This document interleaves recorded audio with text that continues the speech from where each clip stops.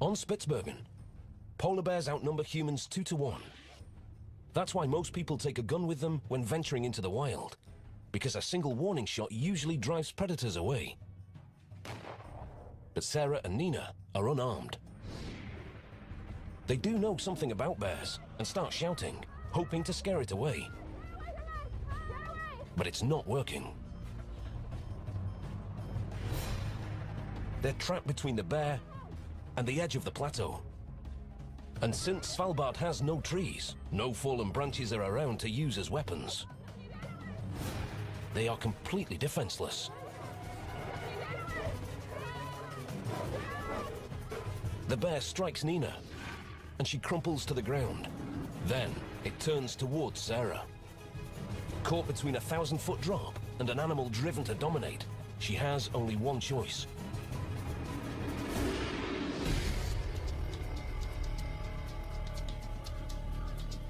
It's a hot June morning in South Africa's northern province.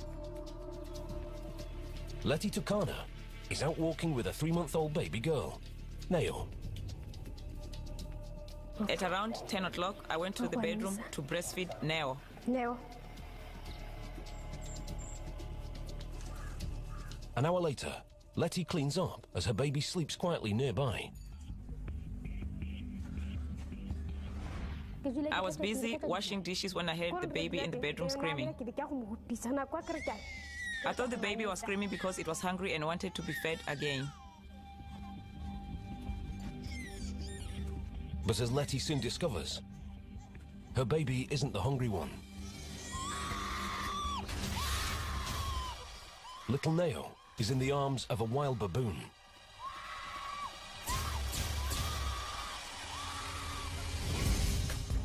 South Africa's Chacma baboons are the largest of the species, and to make matters worse, the one attacking her child is a male. Adult males can weigh almost 45 kilos. They can also distinguish between human males and females. If the male baboon facing Letty views her as a lower-ranking female, he has no reason to fear her. And no reason to release her child. Will her screams be enough for the baboon to opt for a meal other than her little girl? Bruce and Janice Simpson were having a relaxing honeymoon until it went haywire at the jaws of an aggressive hippo. In Africa, these monstrous mammals attack and kill more humans than any other animal. But usually they're grazers that only eat meat when food is scarce. Just one week later, another cantankerous creature rocks the Okavango. Former Miss South Africa, Diana Tilden Davis, is in the Delta filming a documentary. She spent years working here as a guide and considers these waters her home. The crew needs one more shot before they wrap for the day. And that's all the director's thinking about as he pilots the boat. He has no idea what's lurking in the placid waters. Then, without warning, a lone hippo charges. Adrenaline surges through Diana. She strikes the beast with her pole and screams for the crew to scatter.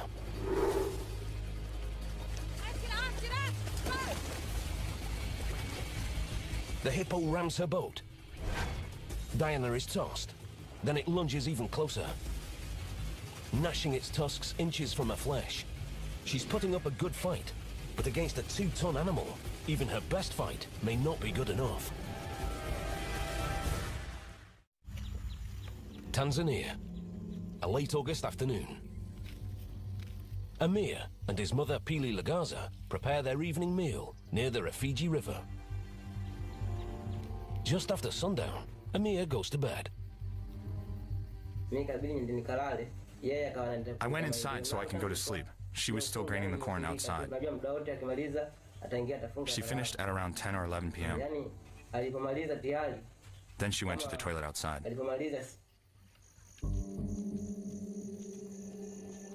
A hungry creature has picked up Pili's scent.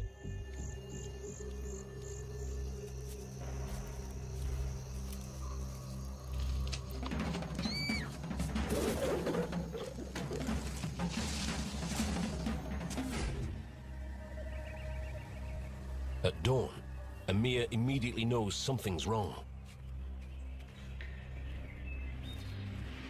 I was wondering where my mother was, so I decided to walk around our house. I saw bloodstains. My heart started pounding after seeing the bloodstains, but I did not lose hope. Then I saw a dress that my mother had on the night before. It was torn and had blood all over it. The trail of blood ends in horror. Then I saw the skull. Everything had been taken from the skull. Even the eyes. It's all that remains of his mother. While Pili Lagaza's death was tragic, it wasn't unusual. About 200 people are killed by wild animals in Tanzania every year. Just two months later, an 18-year-old named Musa Matupa disappears. The next day, his skull is found. Like Pili, it's the only piece left behind. Three days later, there is a third victim. And the villagers begin to worry.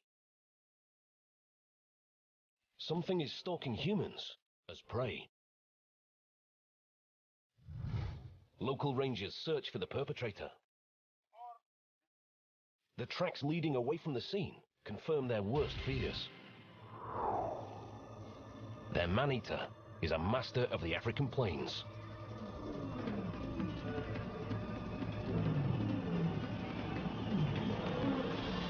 A 1.8 meter long, 220 kilo African lion. Humans aren't usually on their menu. But once the cats acquire a taste for human flesh, there's only one way to end the killing. The big cat must be destroyed.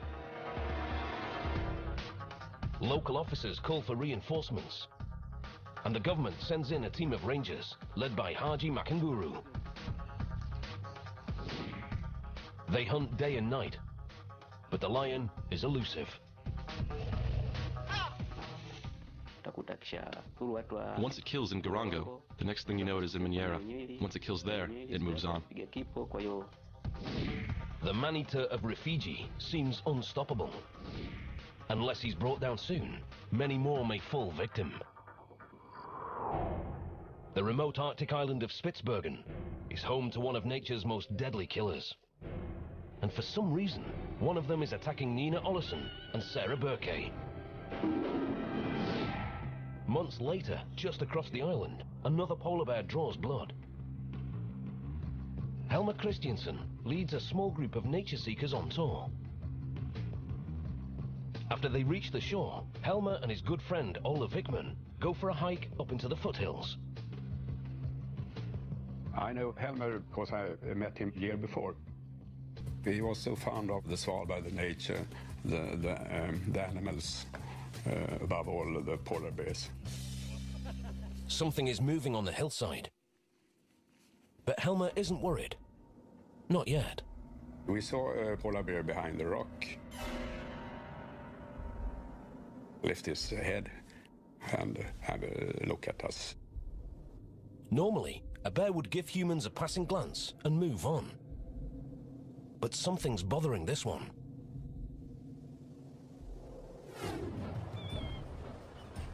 Polar bears communicate with each other using sounds.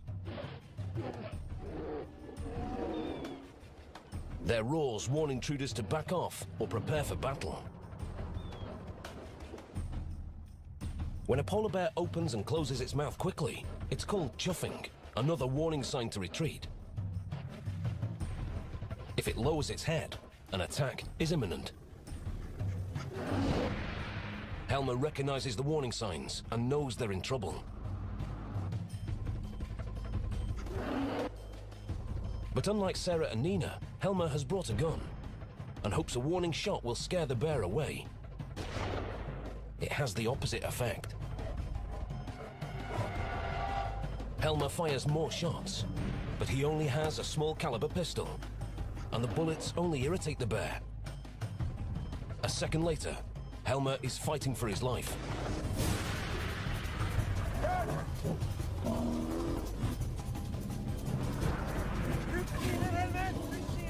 Ola screams for him to pull his knife, but there's no response. He grabs the pistol, but he's never fired it before. I, I didn't know how to use it. It took a while before I could fire a shot. Finally, Ola fires several bullets into the bear, but they only make him angrier. The beast turns and charges him. I think he was angry and uh, attacked me and just threw me to the ground. I was uh, lying there on, on, the ground. I, I thought that it, uh, my, my last minute he, he would uh, probably kill me.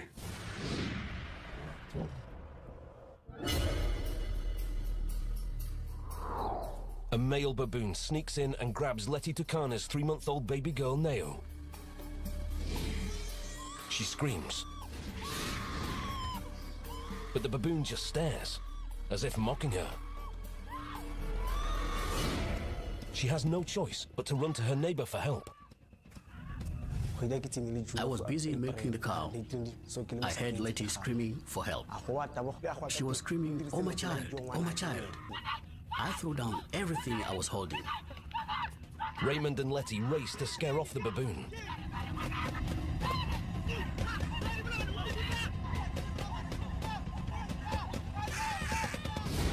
The tactic works, but the primate only reluctantly moves away from the scene. Letty quickly discovers that Neo has suffered a nasty bite to the head. She's alive, but bleeding profusely. When a new alpha male takes over a baboon troop, he'll often kill the offspring of his rivals with a single bite to the head.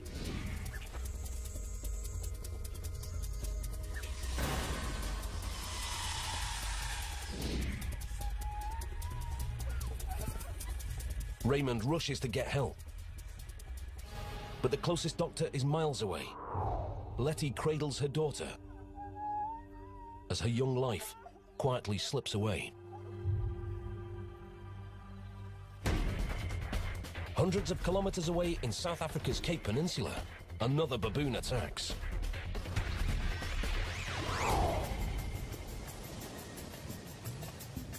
Christina Coetzee just finished a short hike with friends on picturesque Cape Point. It was a clear day, beautiful views, no clouds, no rain. Perfect day for a Cape Point outing. We walked up to the car and opened three of the car doors. Um, they were standing next to the car, taking off their jackets, and I was putting my baby into her car seat.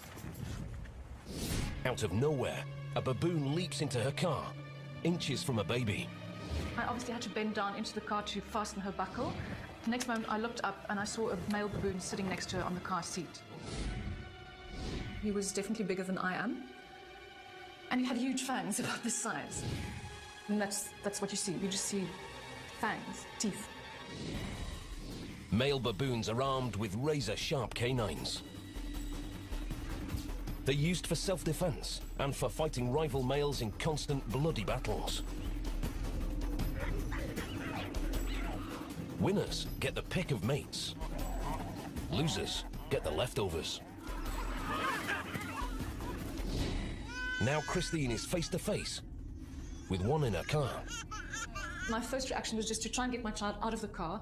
I realized it was not possible as she was, first of all, secured by her seatbelt and her baby seat was secured by a, the car seatbelt, so it was impossible to just yank her out of the seat. And my biggest fear was just that he would, um, yeah, basically bite her in the neck and kill her. An African paradise is about to become hell on earth. Two tons of hippo is targeting newlyweds Bruce and Janice Simpson.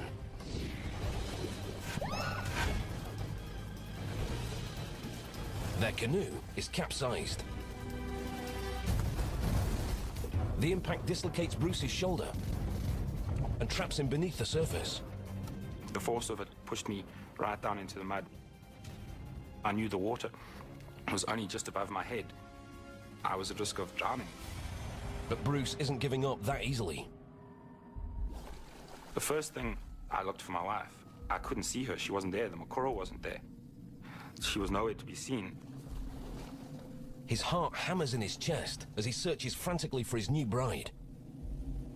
What he finds chills him to the core. I rushed over and I turned her over. And uh, she, she had been bitten through the chest, in the front and through the back. And she was just losing blood so quickly. Jan's body was ravaged by two pairs of deadly tusks. They grow continuously, and they're perfectly placed to sharpen with every bite. But these sabers aren't used for eating. They're for fighting other hippos.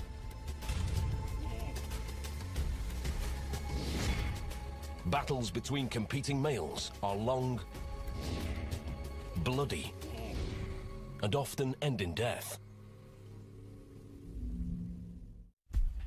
South Africa's Kruger National Park.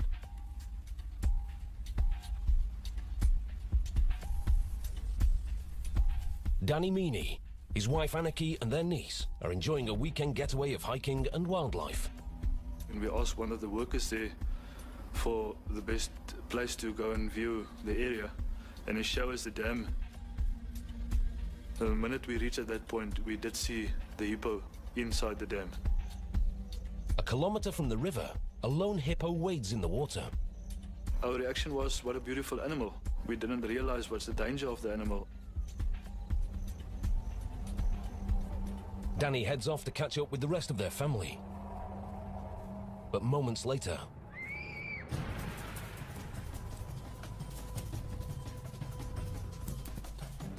And she said, no, the hippo did bite uh, Anneke. Danny races to his wife. I've, I've called and said, Anneke, where are you? Seconds later, he finds her with life-threatening wounds. I see her, and she said, just bear in mind that I love you. She dies in his arms. Just like the hippo attacks on The Simpsons and Diana Tilden Davis, a lone hippo was the perpetrator. These animals usually live in herds, but something drove them away from their group. Anneke left a clue why she was attacked. Investigators review the tape, and first, normal hippo behavior. But then a young calf appears. Anneke's killer was a new mother, and a force to be feared. Few predators dare to take on an adult hippo, but calves are fair game.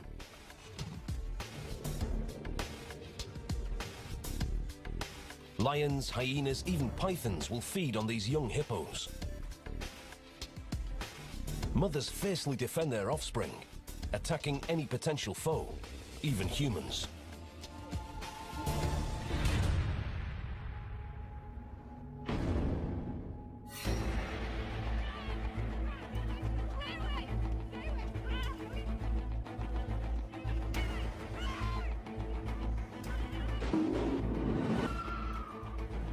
She's pinned beneath enormous claws. Next, he stares at Sarah, baiting her to make a move. She's trapped between the deadly polar bear and a 300 meter drop, littered with jagged rocks.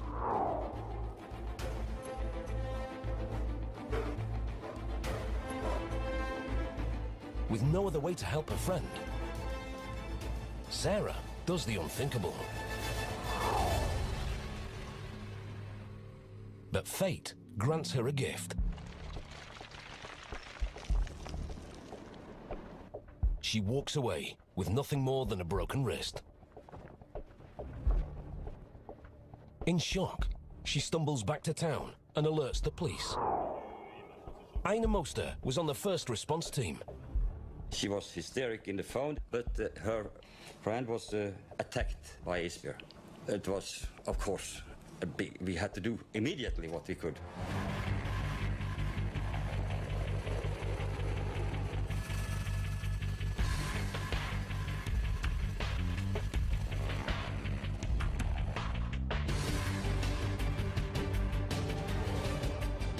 They find the bear, not far from Nina's lifeless body, and take him down.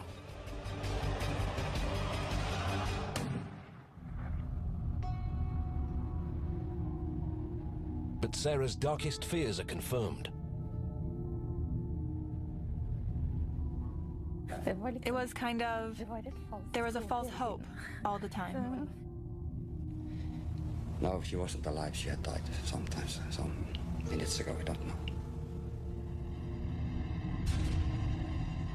Investigators look for a motive and learned that right before the bear charged, a huge plane flew overhead, the C-130 Hercules.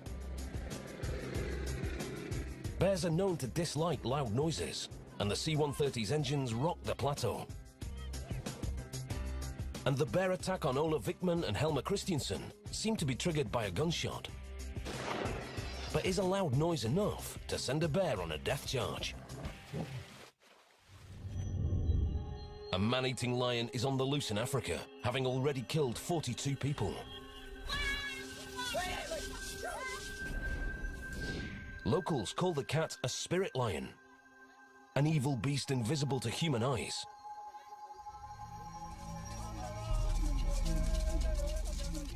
Ranger Haji Makanguru needs a special kind of power to triumph over this enemy. So a team of local bush doctors performs rituals, hoping to defeat the lion's deadly magic.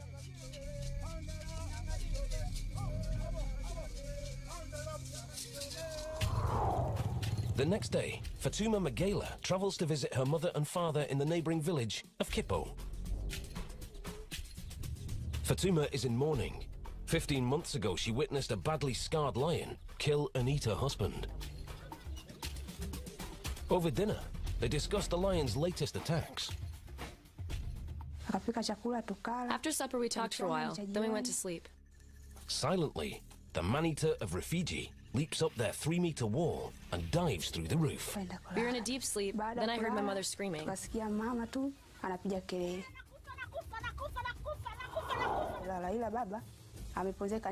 father was attacked when he tried to rescue my mother. When the lion saw that my father was fighting, it grabbed him by the throat and killed him. I did not cry. I knew that if I made a sound, we would all be taken. Fatuma recognizes the beast. It's the same lion that killed her husband. Within seconds, her parents meet the same gruesome end. The man-eater of Rufiji has now killed 47 people. The locals trying to survive this threat flee across the river.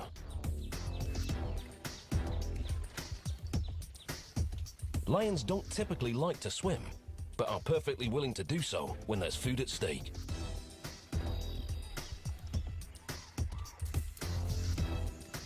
Days later, two elderly women become victims 48 and 49.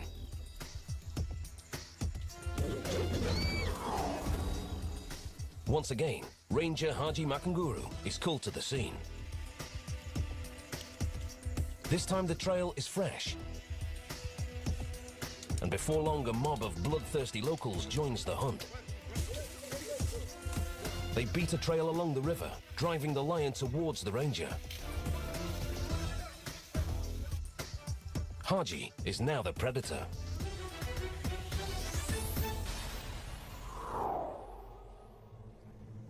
In Botswana, Diana Tilden Davis struggles to stay alive.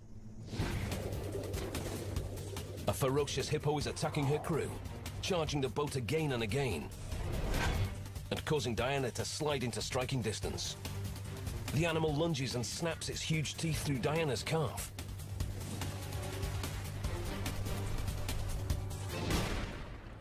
Then, a flare gunshot distracts the creature and Diana scrambles to safety.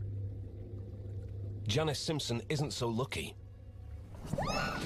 On her honeymoon, she suffers a dreadful hippo attack, and her body is left with devastating puncture wounds. She, she had been bitten through the chest. She'd been bitten in the head, and, and she was just losing blood so quickly. Two hippo attacks just days apart in the same African paradise. Something triggered this devastating rage. Why were both of these herd animals alone? He was definitely trying to hide. Because he was quite big and it was quite shallow, he had made a little sort of wallow in the in the sand to get completely under the water. The hippo must have been submerged and, and crouching in, in the water. So the water couldn't have been deeper than a couple more feet where the hippo was hiding. There's no ways it could have been there unless it was crouching. Diana remembers another gruesome detail. When he came for us, his mouth was open. Lots of cuts and gashes in his mouth. His ear had been chewed on and his face was all scarred and open. They were all fresh, fresh wounds. Only another hippo could have inflicted this type of punishment. It's been relatively dry in the Okavango this season, forcing the hippos into close quarters. I couldn't even begin to count them. It was one of the things that staggered me was the density of the hippo population. Higher concentrations trigger more fighting, and more fighting means more hippos on edge, ready to strike. Diana spent two years in rehab, but she doesn't hold a grudge. I've seen the hippo twice um, since the incident. He was going through just as a traumatic time as I've been through. So our bond, I think, has grown from that. Bruce Simpson hopes to return to the Hippos one day. One of my goals is to be able to go back and get as much pleasure as I did before out of spending time watching hippos and photographing them. In many respects, I, I, I feel like I have a link with them now.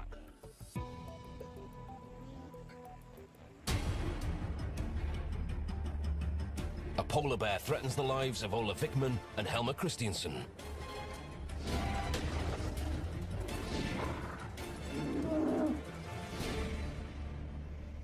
Helmer was already dead.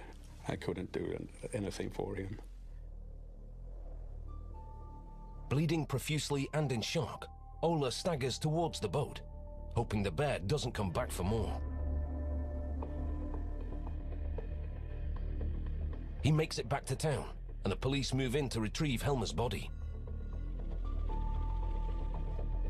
The bear is waiting, but it's no match for a high-powered rifle. Investigators search for clues as to why two bears attacked, seemingly unprovoked. Both were young, aggressive males. But another cause may be contributing to the attacks. Pollutants, including PCBs and pesticides like DDT, circulate through the atmosphere until they arrive near the North Pole. Here temperatures are too cold for the compounds to remain as vapors, so they condense and then drop into Arctic seas. The result is every living organism is eating contaminated food. These poisons have been known to mimic hormones, and the results can be devastating during adolescence. Inexperienced, chemically unbalanced male bears could attack anything, at any time.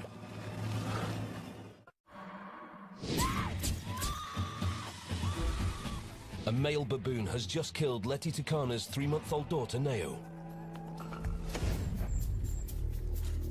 Authorities are concerned the baboon will return. So they send marksmen to the village of Madipalesa they search the area, but find no sign of him. Then four days later, he strikes again.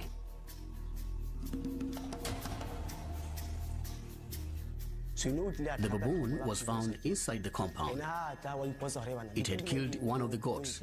The owner of the cattle post saw the baboon running away with the hind quarter of a goat dripping with blood. Again, the baboon is alone.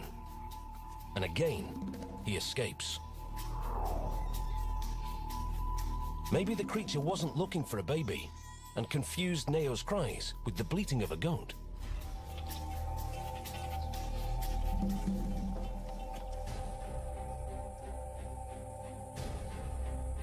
Seven days later,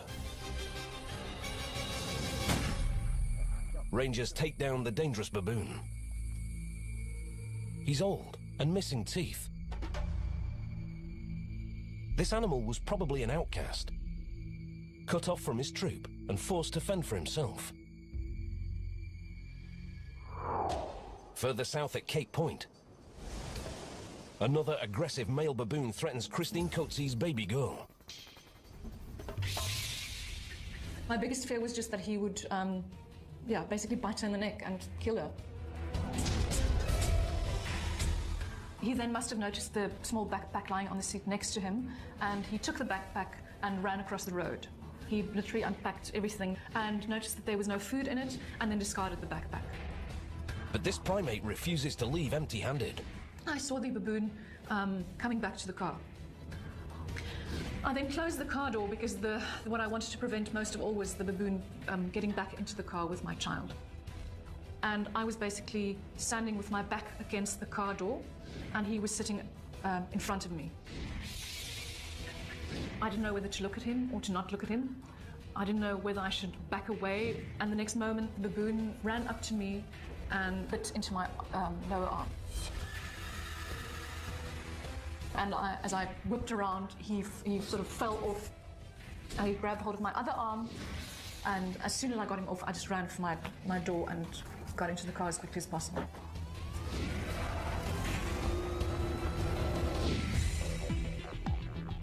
The troop of baboons on Cape Point is constantly fed by tourists, which makes them aggressive.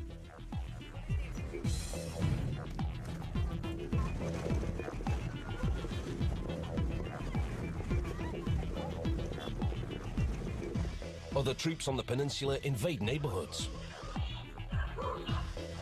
In a matter of minutes, homes are completely ransacked by these hungry primates.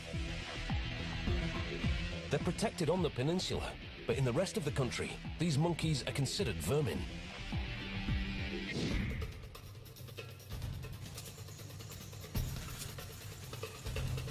Ranger Haji Mokunguru has a man-eating lion in his sights.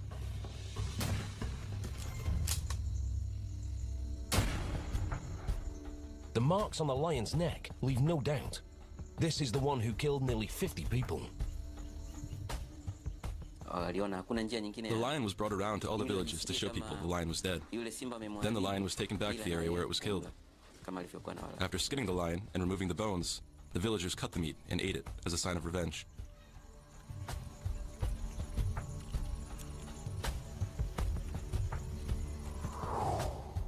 One of the largest cases of man-eating is finally over. But what turned this lion onto the taste of human flesh? His remains tell the story. The cat's left canine tooth is normal, perfectly vertical, but his right canine is damaged, broken, and tilted forwards. A big cat's teeth are his most prized possessions, but they're vulnerable weapons. The hooves of twisting zebra and buffalo can shatter teeth and jaws.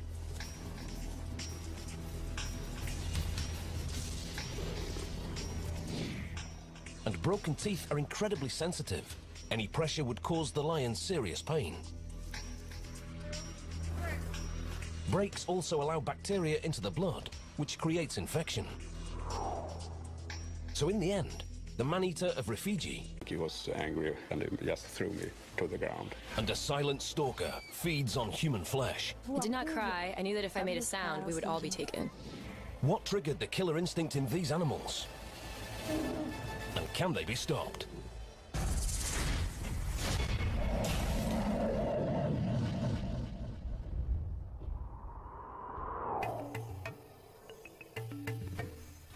Newlyweds Bruce and Janice Simpson are celebrating their honeymoon in one of the most beautiful places on Earth. Botswana's Okavango Delta. They want a real wildlife experience, and the best way to do that is by taking a ride on a Mokoro. A small canoe that can get them close to the action.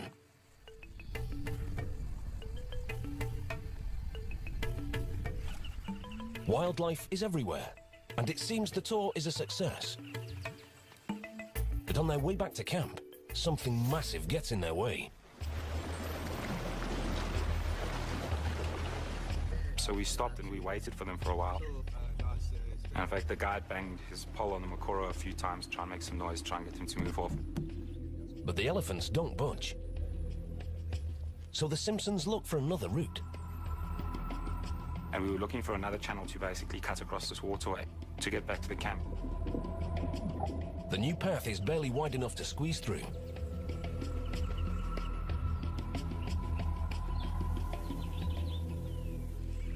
Then, something explodes out of the water. All I saw as I turned was a grey mass to my right, literally half a meter away from me. Adult hippos can weigh more than 2,500 kilos and can run faster than humans. And they are far from friendly. Monstrous males battle each other relentlessly for dominance among the herd. Basically, the girth of its chest was as wide as the section that Jan and I were sitting one behind the other. But it had almost that impact sound of when you have a car accident. And then the next thing I was under the water. I couldn't see anything. Bruce flails for the surface, but something is holding him underwater.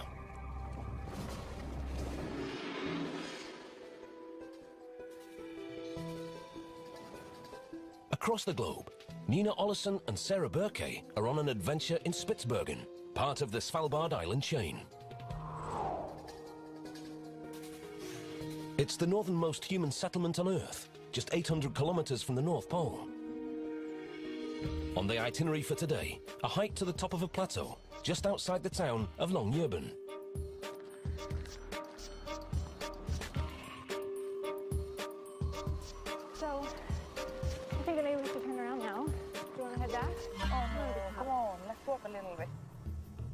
As the girls head across the plateau, they see one of Santa's little helpers grazing nearby. Oh, look, there's a reindeer.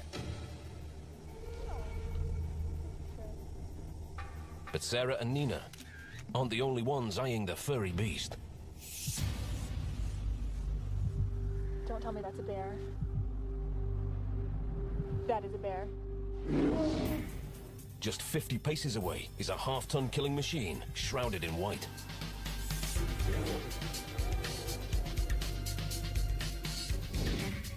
When fully grown, polar bears tower three and a half meters and wield deadly five centimeter claws. They rarely attack humans.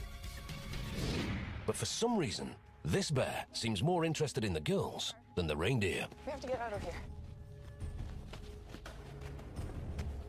Sarah is mesmerized by the bear. Don't look at it! On Spitsbergen, polar bears outnumber humans two to one. That's why most people take a gun with them when venturing into the wild, because a single warning shot usually drives predators away. But Sarah and Nina are unarmed. They do know something about bears and start shouting, hoping to scare it away. But it's not working. They're trapped between the bear and the edge of the plateau. And since Svalbard has no trees, no fallen branches are around to use as weapons. They are completely defenseless. The bear strikes Nina, and she crumples to the ground. Then it turns towards Sarah. Caught between a thousand foot drop and an animal driven to dominate, she has only one choice.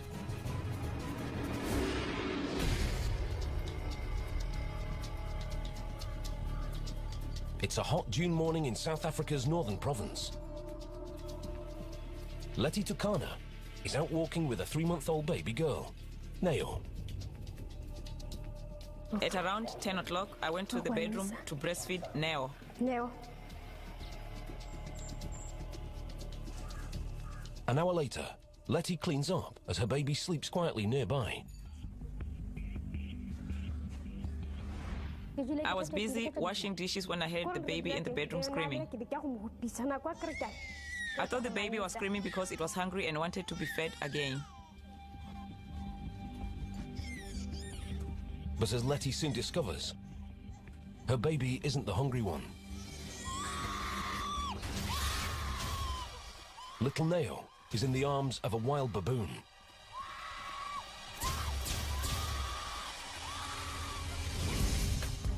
South Africa's Chacma baboons are the largest of the species, and to make matters worse, the one attacking her child is a male. Adult males can weigh almost 45 kilos. They can also distinguish between human males and females. If the male baboon facing Letty views her as a lower-ranking female, he has no reason to fear her. And no reason to release her child. Will her screams be enough for the baboon to opt for a meal other than her little girl?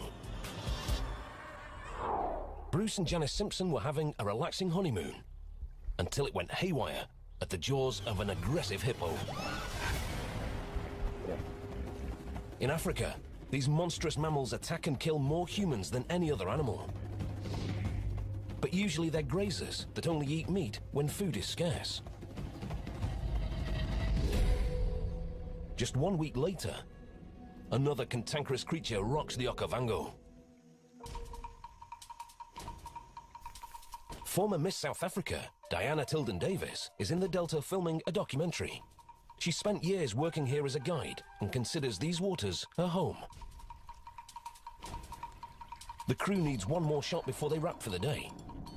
And that's all the director's thinking about as he pilots the boat. He has no idea what's lurking in the placid waters. Then, without warning, a lone hippo charges. Adrenaline surges through Diana. She strikes the beast with her pole and screams for the crew to scatter.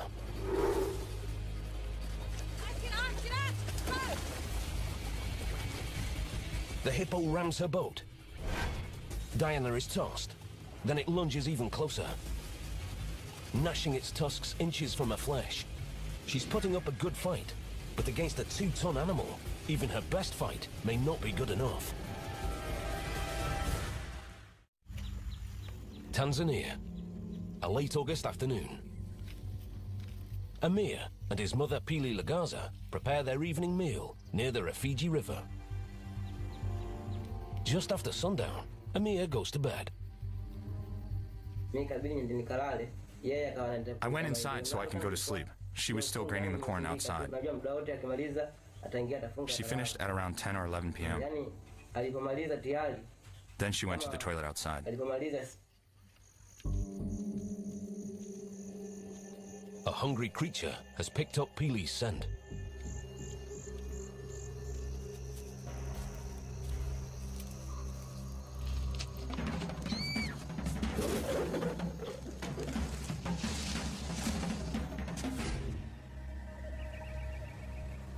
Dawn, Amir immediately knows something's wrong. I was wondering where my mother was, so I decided to walk around our house. I saw bloodstains. My heart started pounding after seeing the bloodstains, but I did not lose hope. Then I saw a dress that my mother had on the night before. It was torn and had blood all over it. The trail of blood ends in horror. Then I saw the skull. Everything had been taken from the skull, even the eyes. It's all that remains of his mother. While Pili Lagaza's death was tragic, it wasn't unusual. About 200 people are killed by wild animals in Tanzania every year. Just two months later, an 18-year-old named Musa Mantupa disappears. The next day, his skull is found. Like Pili, it's the only piece left behind. Three days later, there is a third victim. And the villagers begin to worry. Something is stalking humans as prey. Local rangers search for the perpetrator. The tracks leading away from the scene confirm their worst fears. Their man-eater is a master of the African plains.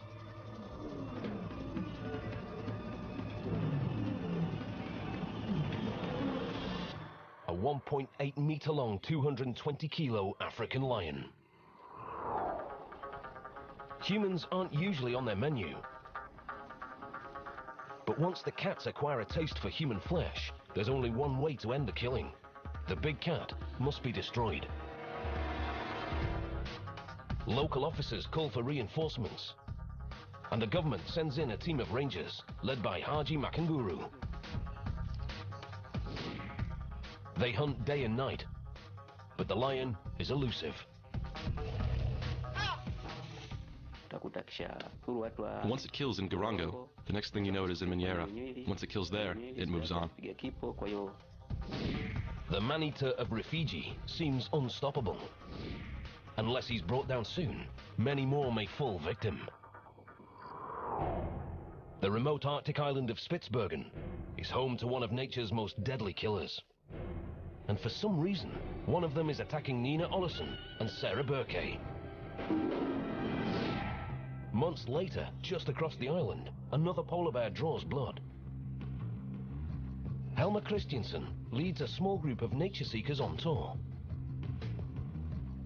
After they reach the shore, Helmer and his good friend Ola Vickman go for a hike up into the foothills. I know Helmer because I met him year before. He was so fond of the Svalbard, the nature, the, the, um, the animals, uh, above all the polar bears. Something is moving on the hillside. But Helmer isn't worried. Not yet. We saw a polar bear behind the rock. Lift his head and uh, have a look at us. Normally, a bear would give humans a passing glance and move on. But something's bothering this one.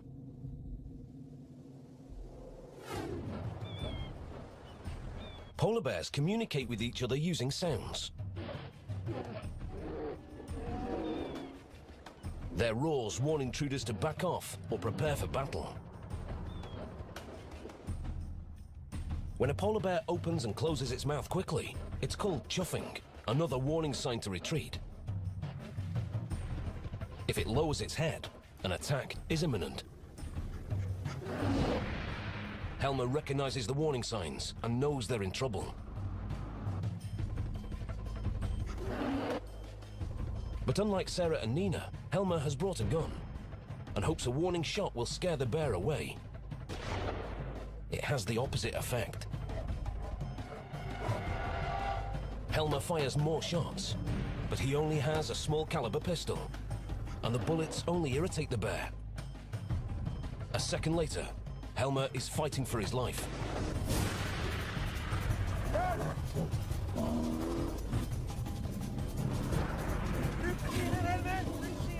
Ola screams for him to pull his knife, but there's no response. He grabs the pistol, but he's never fired it before. I, I, didn't know how to use it. It took a while before I could fire a shot.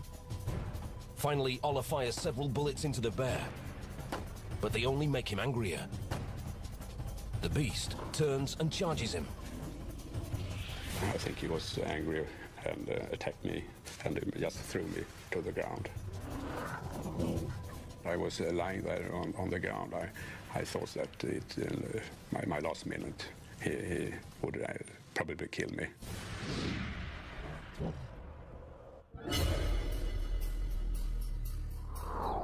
A male baboon sneaks in and grabs Letty Tukana's three-month-old baby girl, Neo. She screams. But the baboon just stares, as if mocking her. She has no choice but to run to her neighbor for help. I was busy milking the cow. I heard Letty screaming for help. She was screaming, Oh my child, oh my child. I threw down everything I was holding. Raymond and Letty race to scare off the baboon.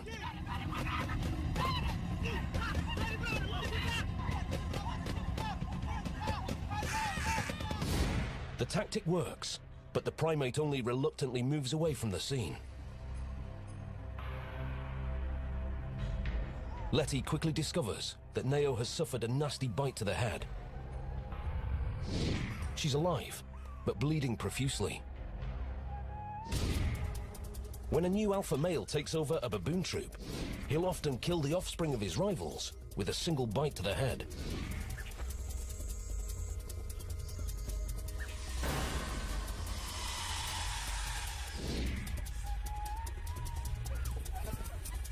Raymond rushes to get help. But the closest doctor is miles away.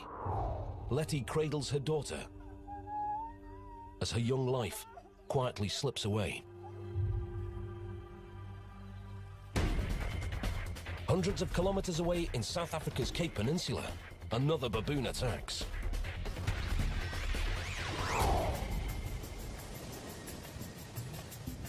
Christina Coetzee just finished a short hike with friends on picturesque Cape Point. It was a clear day, beautiful views, no clouds, no rain. Perfect day for a Cape Point outing. We walked up to the car and opened three of the car doors. Um, they were standing next to the car, taking off their jackets, and I was putting my baby into her car seat.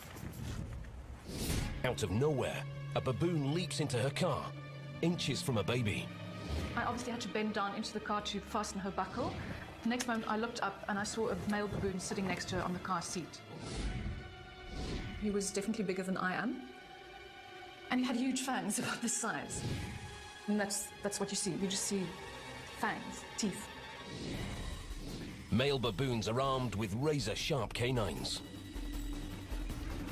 They're used for self-defense and for fighting rival males in constant bloody battles. Winners get the pick of mates. Losers get the leftovers. Now Christine is face to face with one in her car. My first reaction was just to try and get my child out of the car.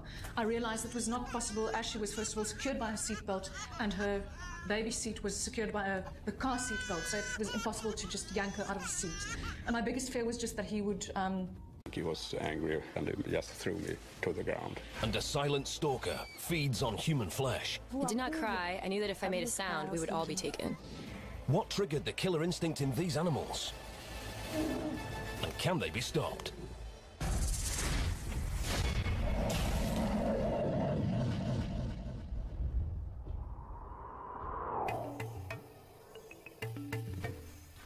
Newlyweds Bruce and Janice Simpson are celebrating their honeymoon in one of the most beautiful places on Earth. Botswana's Okavango Delta. They want a real wildlife experience, and the best way to do that is by taking a ride on a Mokoro. A small canoe that can get them close to the action.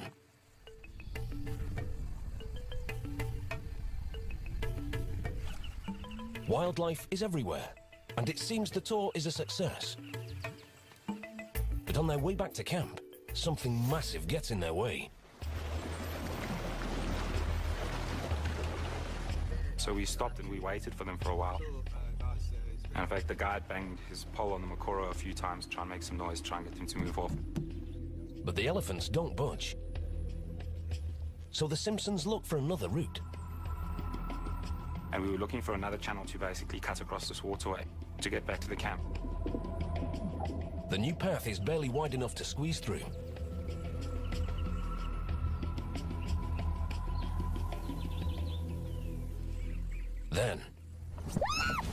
Something explodes out of the water. All I saw as I turned was a grey mass to my right, literally half a meter away from me.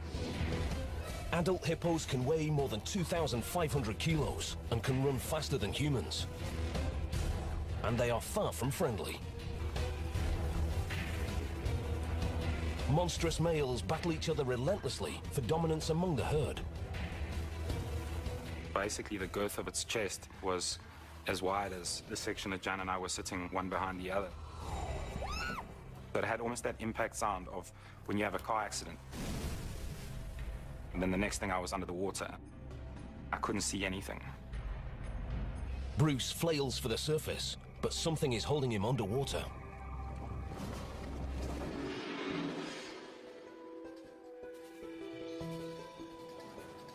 Across the globe, Nina Ollison and Sarah Burke are on an adventure in Spitsbergen, part of the Svalbard island chain.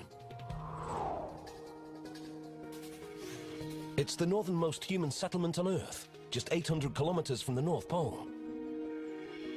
On the itinerary for today, a hike to the top of a plateau just outside the town of Longyearbyen.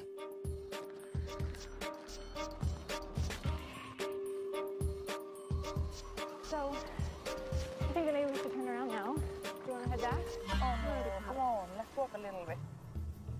As the girls head across the plateau, they see one of Santa's little helpers grazing nearby. Oh, look, there's a reindeer.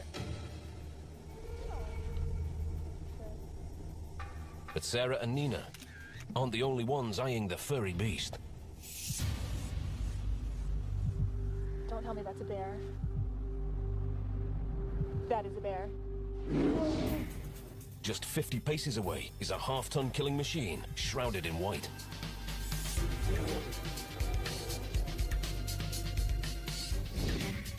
When fully grown, polar bears tower three and a half meters and wield deadly five centimeter claws. They rarely attack humans. But for some reason, this bear seems more interested in the girls than the reindeer. We have to get out of here.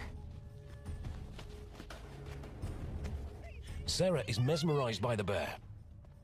Don't look at it!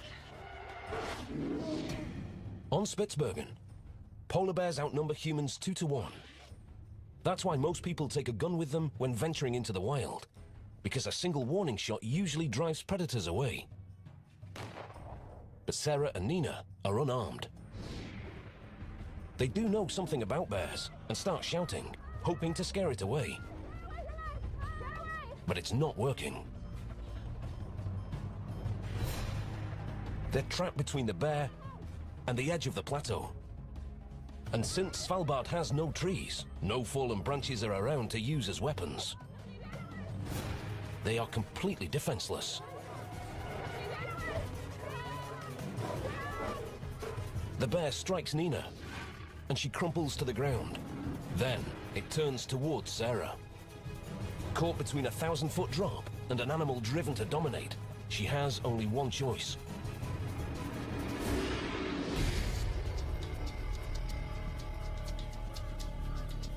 It's a hot June morning in South Africa's northern province. Letty Tukana is out walking with a three-month-old baby girl, Neo. At around 10 o'clock, I went to the bedroom to breastfeed Neo. Neo. An hour later, Letty cleans up as her baby sleeps quietly nearby. I was busy washing dishes when I heard the baby in the bedroom screaming. I thought the baby was screaming because it was hungry and wanted to be fed again. But as Letty soon discovers, her baby isn't the hungry one. Little Neo is in the arms of a wild baboon.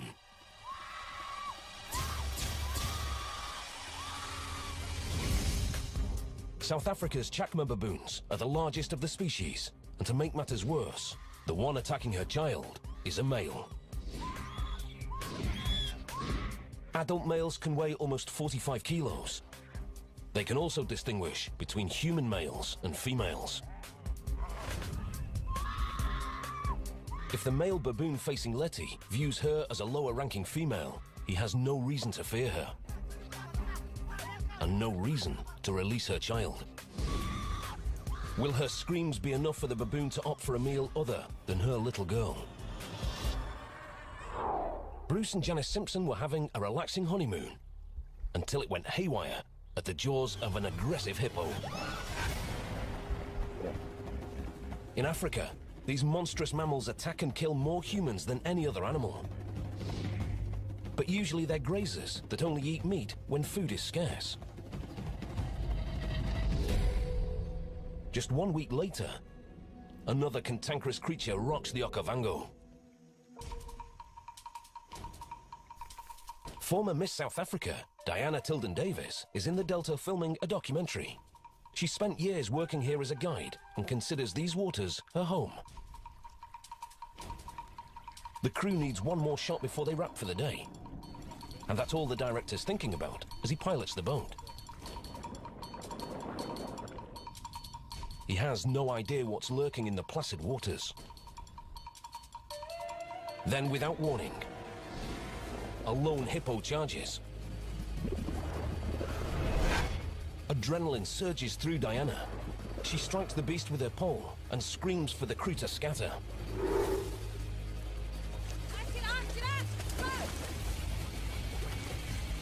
The hippo rams her boat.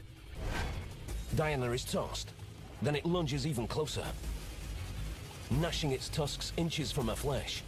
She's putting up a good fight, but against a two-ton animal, even her best fight may not be good enough. Tanzania, a late August afternoon. Amir and his mother Pili Lagaza prepare their evening meal near the Rufiji River. Just after sundown, Amir goes to bed. I went inside so I can go to sleep. She was still graining the corn outside. She finished at around 10 or 11 p.m. Then she went to the toilet outside.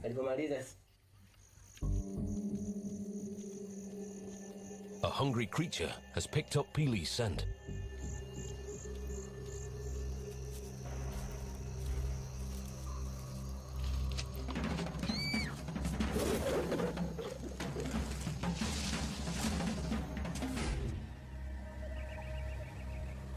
Dawn, Amir immediately knows something's wrong. I was wondering where my mother was, so I decided to walk around our house. I saw bloodstains. My heart started pounding after seeing the bloodstains, but I did not lose hope. Then I saw a dress that my mother had on the night before. It was torn and had blood all over it.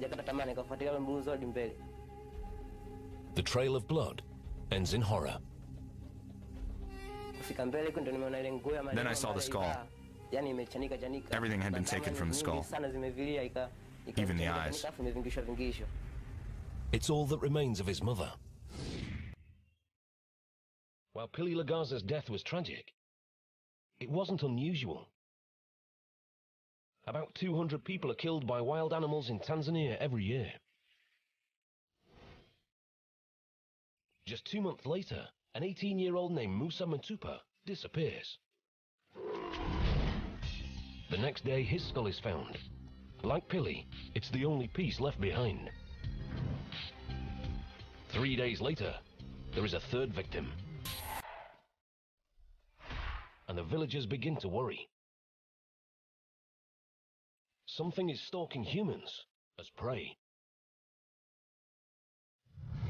Local rangers search for the perpetrator. The tracks leading away from the scene confirm their worst fears. Their man-eater is a master of the African plains.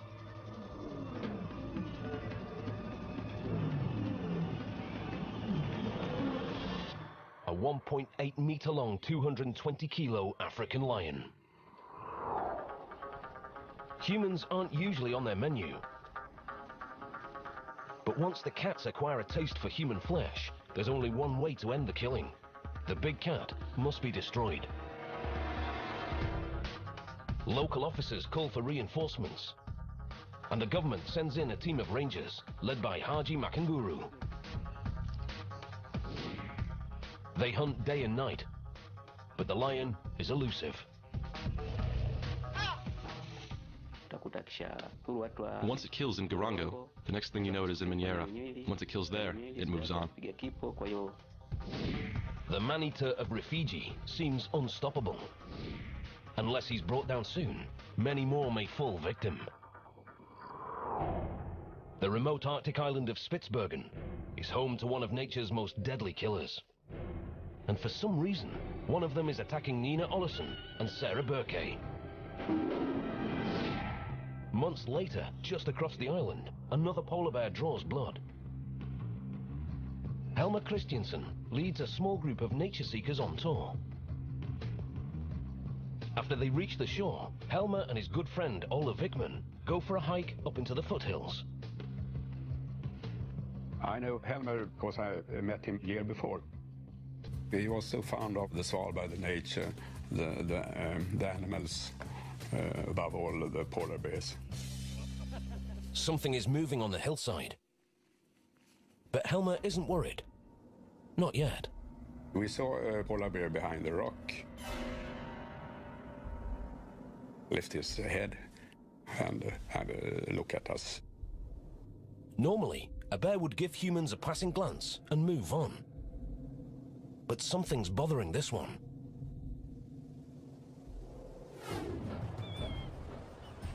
Polar bears communicate with each other using sounds. Their roars warn intruders to back off or prepare for battle.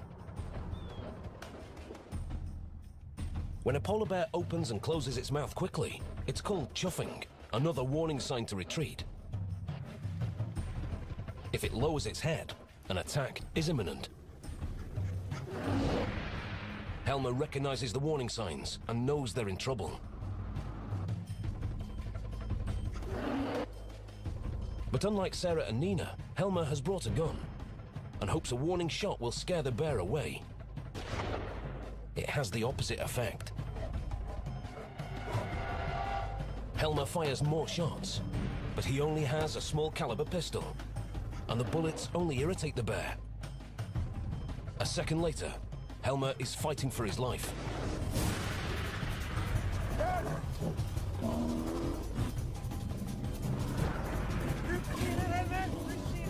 Altler screams for him to pull his knife, but there's no response. He grabs the pistol, but he's never fired it before. I, I, didn't know how to use it. It took a while before I could fire a shot. Finally, Ola fires several bullets into the bear, but they only make him angrier. The beast turns and charges him. I think he was angry and uh, attacked me and he just threw me to the ground. I was uh, lying there on, on the ground. I, I thought that it, uh, my, my last minute he, he would uh, probably kill me.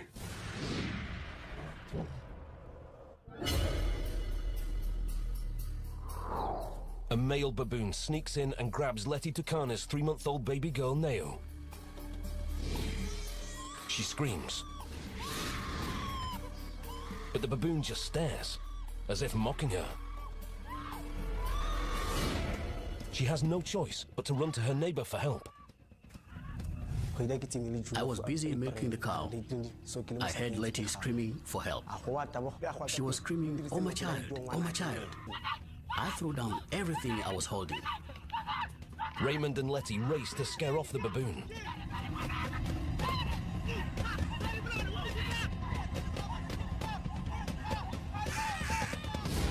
The tactic works, but the primate only reluctantly moves away from the scene. Letty quickly discovers that Neo has suffered a nasty bite to the head. She's alive, but bleeding profusely. When a new alpha male takes over a baboon troop, he'll often kill the offspring of his rivals with a single bite to the head.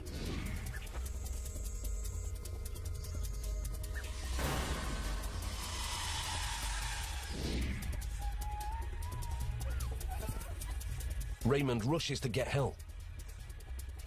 But the closest doctor is miles away. Letty cradles her daughter as her young life quietly slips away.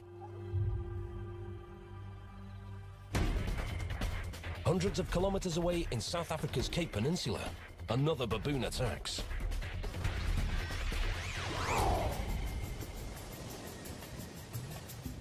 Christina Coetzee just finished a short hike with friends on picturesque Cape Point. It was a clear day, beautiful views, no clouds, no rain. Perfect day for a Cape Point outing.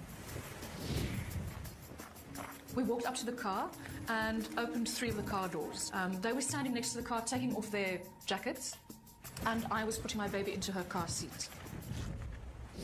Out of nowhere, a baboon leaps into her car, inches from a baby. I obviously had to bend down into the car to fasten her buckle. The next moment, I looked up and I saw a male baboon sitting next to her on the car seat. He was definitely bigger than I am, and he had huge fangs about this size. And that's, that's what you see. You just see fangs, teeth. Male baboons are armed with razor-sharp canines. They're used for self-defense and for fighting rival males in constant bloody battles. Winners get the pick of mates. Losers get the leftovers. Now Christine is face to face with one in her car. My first reaction was just to try and get my child out of the car.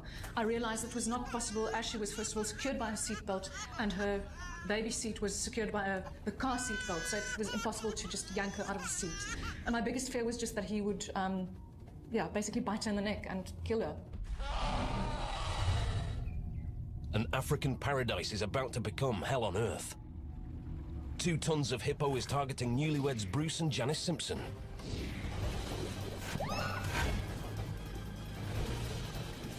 Their canoe is capsized. The impact dislocates Bruce's shoulder and traps him beneath the surface. The force of it pushed me right down into the mud. I knew the water was only just above my head. I was at risk of drowning. But Bruce isn't giving up that easily. The first thing, I looked for my wife. I couldn't see her. She wasn't there. The Mokoro wasn't there. She was nowhere to be seen. His heart hammers in his chest as he searches frantically for his new bride. What he finds chills him to the core. I rushed over and I turned her over. And uh, she, she had been bitten through the chest, in the front and through the back. And she was just losing blood so quickly. Jan's body was ravaged by two pairs of deadly tusks. They grow continuously, and they're perfectly placed to sharpen with every bite. But these sabers aren't used for eating. They're for fighting other hippos.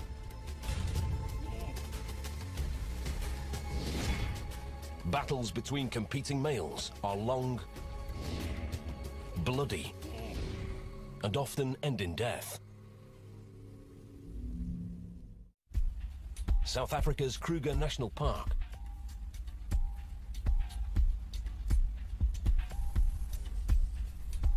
Danny Meany, his wife Anneke and their niece are enjoying a weekend getaway of hiking and wildlife.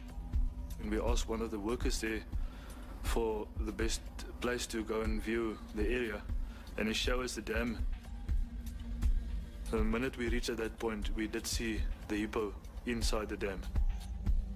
A kilometer from the river, a lone hippo wades in the water. Our reaction was, what a beautiful animal.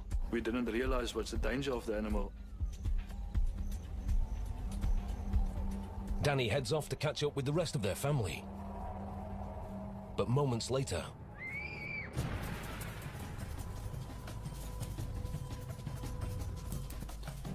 And she said, no, the put that bite uh, Anneke. Danny races to his wife. I've, I've called and said, Anneke, where are you? Seconds later, he finds her with life-threatening wounds. I see her and she said, just bear in mind that I love you. She dies in his arms.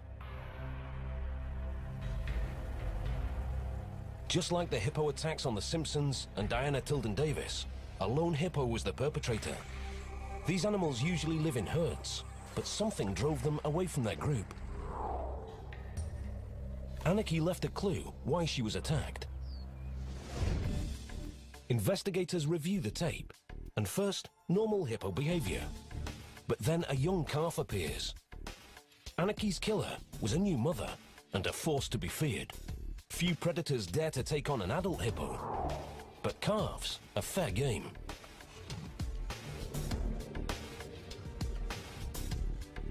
Lions, hyenas, even pythons will feed on these young hippos. Mothers fiercely defend their offspring attacking any potential foe, even humans.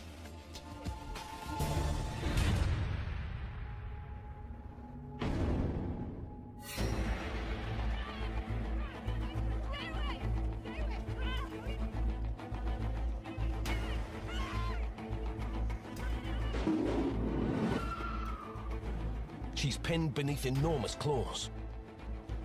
Next, he stares at Sarah, baiting her to make a move.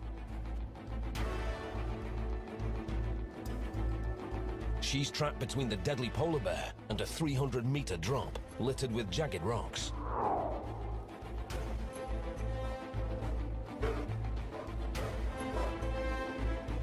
With no other way to help her friend, Sarah does the unthinkable. Fate grants her a gift. She walks away with nothing more than a broken wrist. In shock, she stumbles back to town and alerts the police. Aina Moster was on the first response team.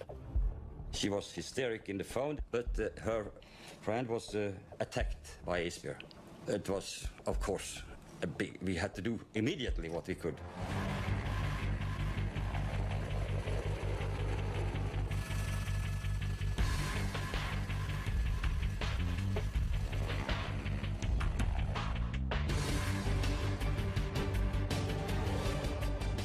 They find the bear, not far from Nina's lifeless body, and take him down.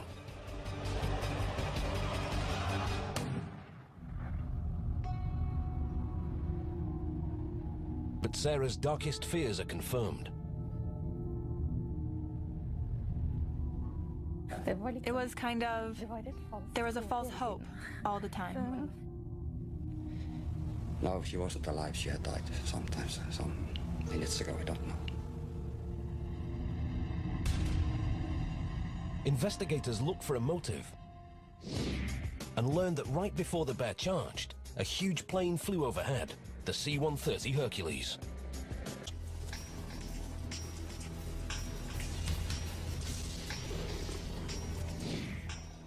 Broken teeth are incredibly sensitive. Any pressure would cause the lion serious pain. Breaks also allow bacteria into the blood, which creates infection. So in the end, the man-eater of Rufiji... He was angry and he just threw me to the ground. And a silent stalker feeds on human flesh. I did not cry. I knew that if I made a sound, we would all be taken. What triggered the killer instinct in these animals? And can they be stopped?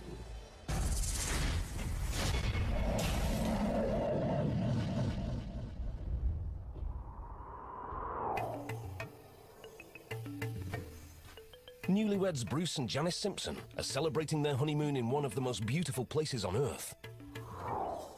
Botswana's Okavango Delta. They want a real wildlife experience, and the best way to do that is by taking a ride on a Mokoro. A small canoe that can get them close to the action.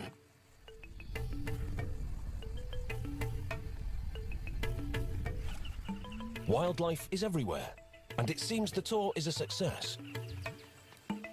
But on their way back to camp, something massive gets in their way.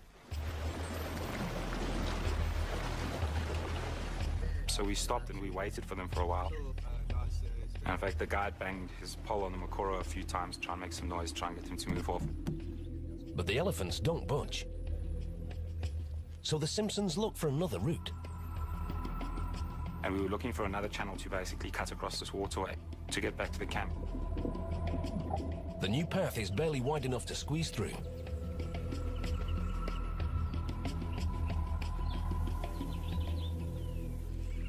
Then, something explodes out of the water. All I saw as I turned was a grey mass to my right, literally half a meter away from me. Adult hippos can weigh more than 2,500 kilos and can run faster than humans. And they are far from friendly. Monstrous males battle each other relentlessly for dominance among the herd. Basically, the girth of its chest was as wide as the section that Jan and I were sitting one behind the other. But it had almost that impact sound of when you have a car accident. And then the next thing I was under the water. I couldn't see anything. Bruce flails for the surface, but something is holding him underwater.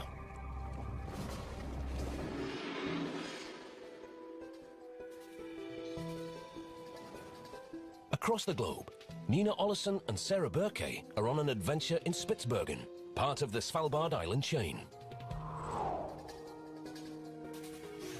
It's the northernmost human settlement on Earth, just 800 kilometers from the North Pole. On the itinerary for today, a hike to the top of a plateau, just outside the town of Longyearbyen.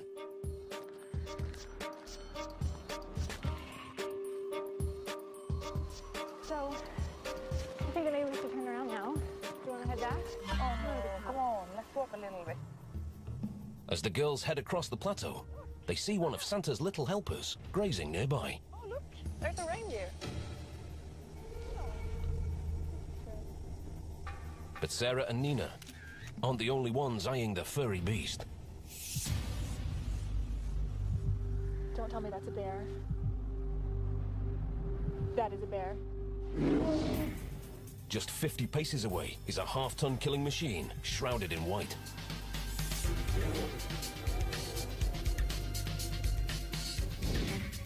When fully grown, polar bears tower three and a half meters and wield deadly five centimeter claws. They rarely attack humans. But for some reason, this bear seems more interested in the girls than the reindeer. We have to get out of here. Sarah is mesmerized by the bear. Don't look at it! On Spitsbergen, polar bears outnumber humans two to one. That's why most people take a gun with them when venturing into the wild, because a single warning shot usually drives predators away.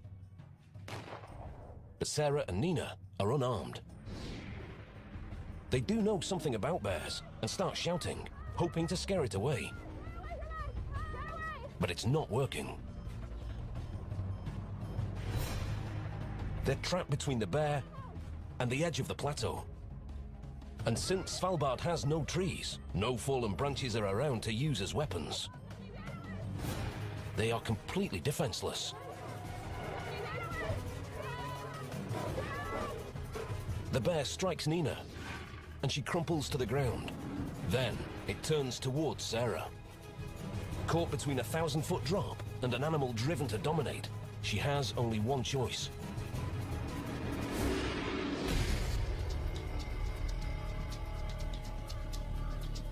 It's a hot June morning in South Africa's northern province.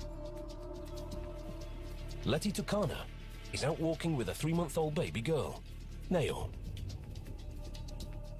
At around 10 o'clock, I went to the bedroom to breastfeed Neo. Neo.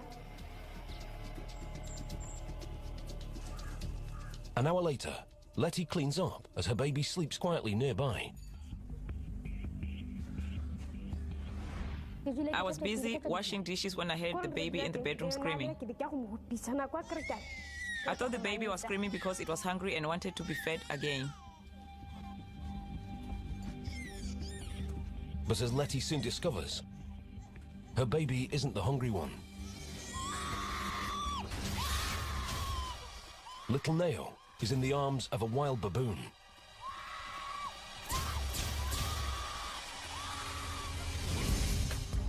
South Africa's Chacma baboons are the largest of the species, and to make matters worse, the one attacking her child is a male. Adult males can weigh almost 45 kilos. They can also distinguish between human males and females. If the male baboon facing Letty views her as a lower-ranking female, he has no reason to fear her. And no reason to release her child. Will her screams be enough for the baboon to opt for a meal other than her little girl? Bruce and Janice Simpson were having a relaxing honeymoon until it went haywire at the jaws of an aggressive hippo. In Africa, these monstrous mammals attack and kill more humans than any other animal. But usually they're grazers that only eat meat when food is scarce. Just one week later, another cantankerous creature rocks the Okavango. Former Miss South Africa, Diana Tilden Davis, is in the Delta filming a documentary. She spent years working here as a guide and considers these waters her home. The crew needs one more shot before they wrap for the day. And that's all the director's thinking about as he pilots the boat. He has no idea what's lurking in the placid waters. Then, without warning, a lone hippo After they reach the shore, Helmer and his good friend Ola Vickman go for a hike up into the foothills. I know Helmer because I met him a year before. He was so fond of the Svalbard, the nature, the, the, um, the animals, uh, above all the polar bears. Something is moving on the hillside. But Helmer isn't worried. Not yet. We saw a polar bear behind the rock. Lift his head and have a look at us. Normally, a bear would give humans a passing glance and move on. But something's bothering this one.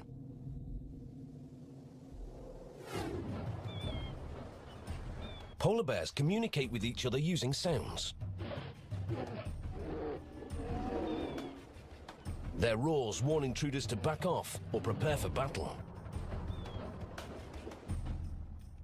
When a polar bear opens and closes its mouth quickly, it's called chuffing, another warning sign to retreat. If it lowers its head, an attack is imminent. Helmer recognizes the warning signs and knows they're in trouble. But unlike Sarah and Nina, Helmer has brought a gun and hopes a warning shot will scare the bear away. It has the opposite effect.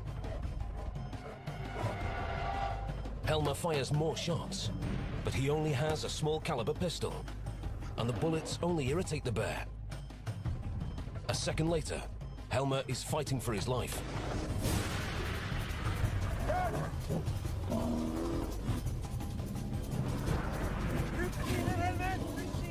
Ola screams for him to pull his knife, but there's no response.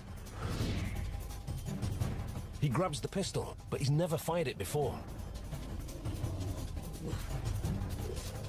I, I, didn't know how to use it. It took a while before I could fire a shot. Finally, Ola fires several bullets into the bear, but they only make him angrier.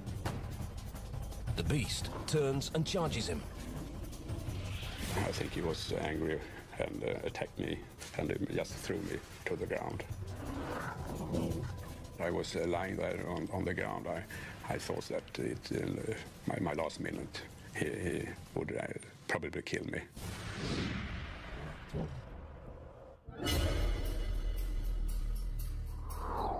A male baboon sneaks in and grabs Letty Tukana's three-month-old baby girl, Neo. She screams. But the baboon just stares, as if mocking her. She has no choice but to run to her neighbor for help. I was busy milking the cow. I heard Letty screaming for help. She was screaming, Oh my child, oh my child. I threw down everything I was holding. Raymond and Letty race to scare off the baboon.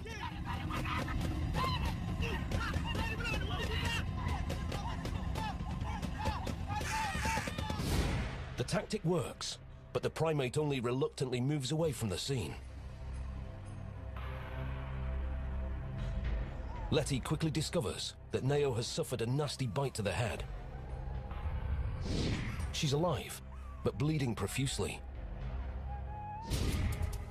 When a new alpha male takes over a baboon troop, he'll often kill the offspring of his rivals with a single bite to the head.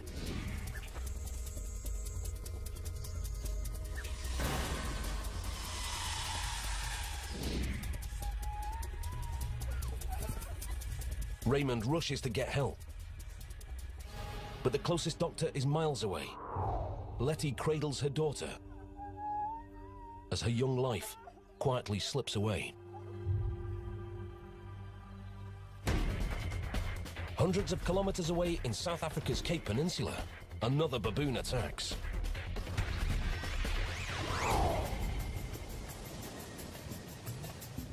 Christina Kotze just finished a short hike with friends on picturesque Cape Point. It was a clear day, beautiful views, no clouds, no rain. Perfect day for a Cape Point outing. We walked up to the car and opened three of the car doors. Um, they were standing next to the car, taking off their jackets, and I was putting my baby into her car seat. Out of nowhere, a baboon leaps into her car, inches from a baby. I obviously had to bend down into the car to fasten her buckle. The next moment, I looked up and I saw a male baboon sitting next to her on the car seat. He was definitely bigger than I am. And he had huge fangs about this size. And that's, that's what you see. You just see fangs, teeth. Male baboons are armed with razor sharp canines. They're used for self defense and for fighting rival males in constant bloody battles. Winners get the pick of mates. Losers get the leftovers. Now Christine is face to face with one in her car. My first reaction was just to try and get my child out of the car. I realized it was not possible as she was, first of all, secured by her seatbelt and her baby seat was secured by a, the car seatbelt, so it was impossible to just yank her out of the seat. And my biggest fear was just that he would, um, yeah, basically bite her in the neck and kill her. An African paradise is about to become hell on earth. Two tons of hippo is targeting newlyweds Bruce and Janice Simpson.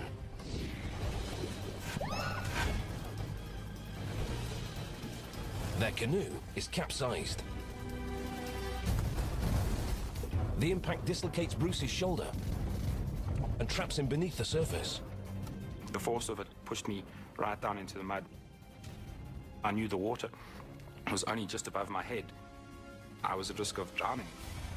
But Bruce isn't giving up that easily. The first thing I looked for my wife. I couldn't see her. She wasn't there. The Mokoro wasn't there. She was nowhere to be seen. His heart hammers in his chest as he searches frantically for his new bride. What he finds chills him to the core. I rushed over and I turned her over. And uh, she, she had been bitten through the chest, in the front and through the back. And she was just losing blood so quickly. Jan's body was ravaged by two pairs of deadly tusks. They grow continuously, and they're perfectly placed to sharpen with every bite. But these sabers aren't used for eating. They're for fighting other hippos.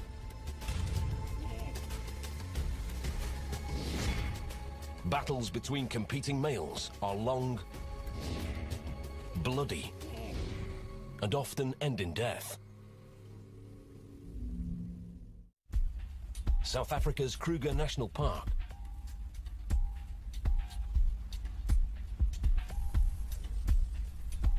Danny Meany, his wife Anneke and their niece are enjoying a weekend getaway of hiking and wildlife.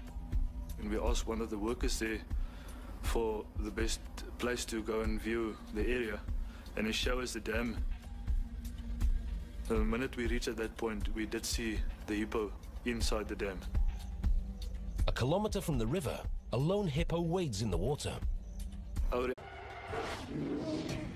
On Spitsbergen, Polar bears outnumber humans two to one. That's why most people take a gun with them when venturing into the wild, because a single warning shot usually drives predators away.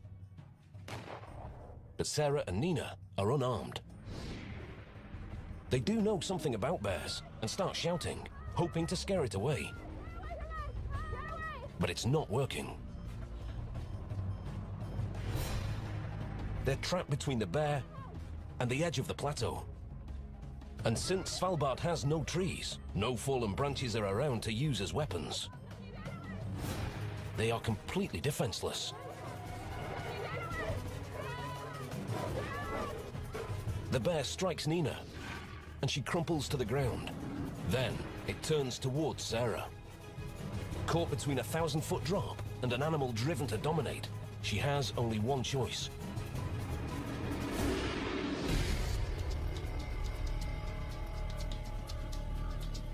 It's a hot June morning in South Africa's northern province. Letty Tukana is out walking with a three-month-old baby girl, Neo. At around 10 o'clock, I went to the bedroom to breastfeed Neo. Neo. An hour later, Letty cleans up as her baby sleeps quietly nearby. I was busy washing dishes when I heard the baby in the bedroom screaming. I thought the baby was screaming because it was hungry and wanted to be fed again.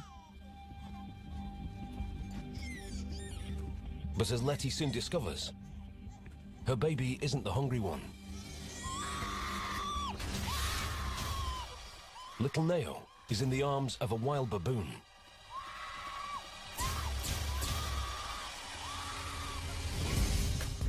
South Africa's Chacma baboons are the largest of the species, and to make matters worse, the one attacking her child is a male.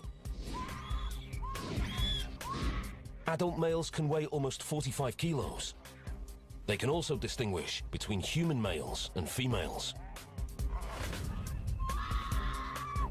If the male baboon facing Letty views her as a lower-ranking female, he has no reason to fear her.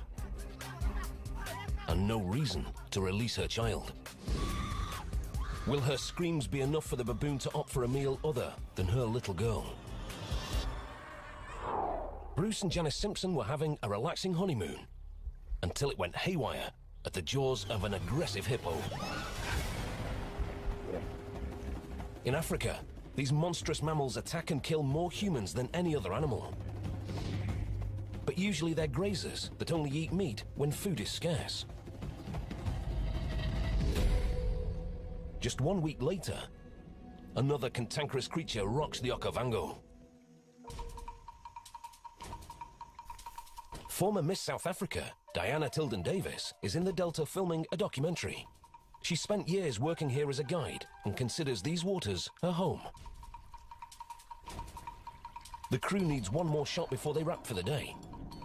And that's all the director's thinking about as he pilots the boat. He has no idea what's lurking in the placid waters. Then, without warning, a lone hippo charges. Adrenaline surges through Diana. She strikes the beast with her pole and screams for the crew to scatter.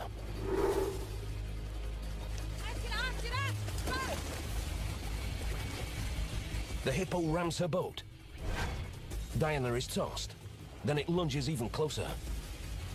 Gnashing its tusks inches from her flesh. She's putting up a good fight, but against a two-ton animal, even her best fight may not be good enough. Tanzania. A late August afternoon. Amir and his mother Pili Lagaza prepare their evening meal near the Rufiji River. Just after sundown, Amir goes to bed. I went inside so I can go to sleep. She was still graining the corn outside. She finished at around 10 or 11 p.m. Then she went to the toilet outside. A hungry creature has picked up Pili's scent.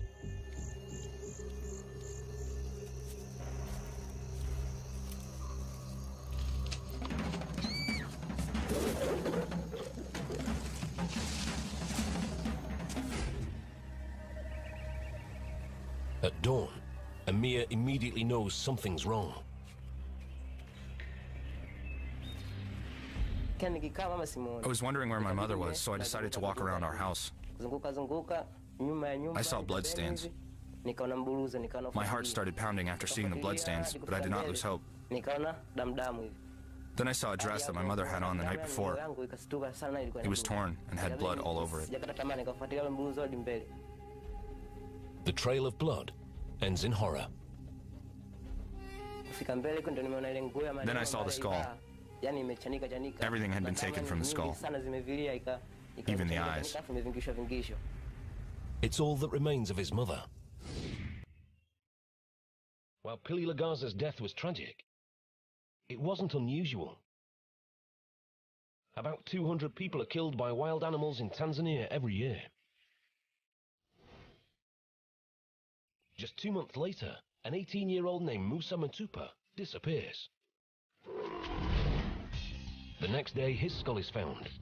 Like Pili, it's the only piece left behind. Three days later, there is a third victim. And the villagers begin to worry. Something is stalking humans as prey. Local rangers search for the perpetrator. The tracks leading away from the scene confirm their worst fears. Their man-eater is a master of the African plains.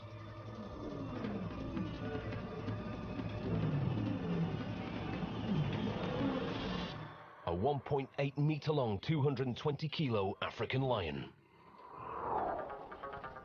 Humans aren't usually on their menu. But once the cats acquire a taste for human flesh, there's only one way to end the killing. The big cat must be destroyed. Local officers call for reinforcements. And the government sends in a team of rangers, led by Haji Makanguru.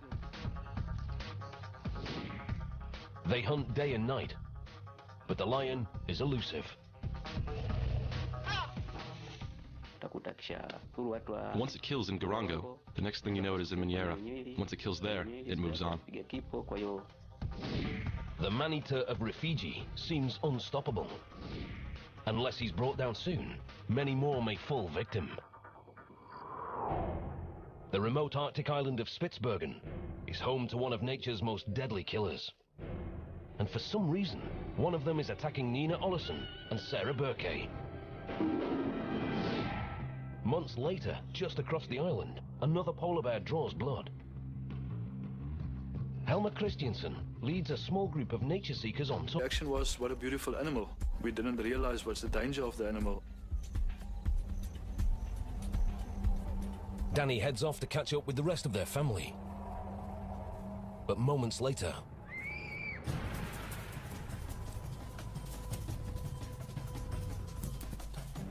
And she said, no, the hippo did bite uh, Anneke. Danny races to his wife. I've, I've called her and said, Anneke, where are you? Seconds later, he finds her with life-threatening wounds. I see her, and she said, just bear in mind that I love you. She dies in his arms. Just like the hippo attacks on The Simpsons and Diana Tilden Davis, a lone hippo was the perpetrator. These animals usually live in herds, but something drove them away from their group. Anneke left a clue why she was attacked. Investigators review the tape, and first, normal hippo behavior. But then a young calf appears. Anneke's killer was a new mother, and a force to be feared. Few predators dare to take on an adult hippo, but calves are fair game.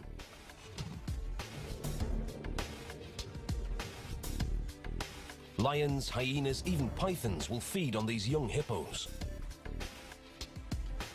Mothers fiercely defend their offspring, attacking any potential foe, even humans.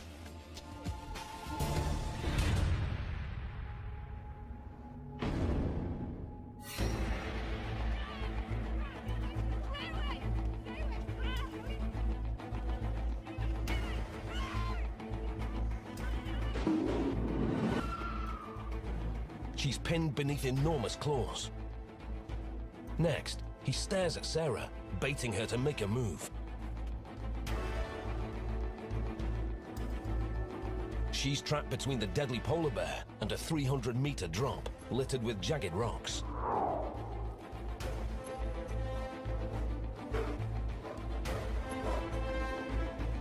With no other way to help her friend, Sarah does the unthinkable. But fate grants her a gift. She walks away with nothing more than a broken wrist. In shock, she stumbles back to town and alerts the police. Aina Moster was on the first response team. She was hysteric in the phone, but uh, her friend was uh, attacked by Isbjörn. It was, of course, big, we had to do immediately what we could.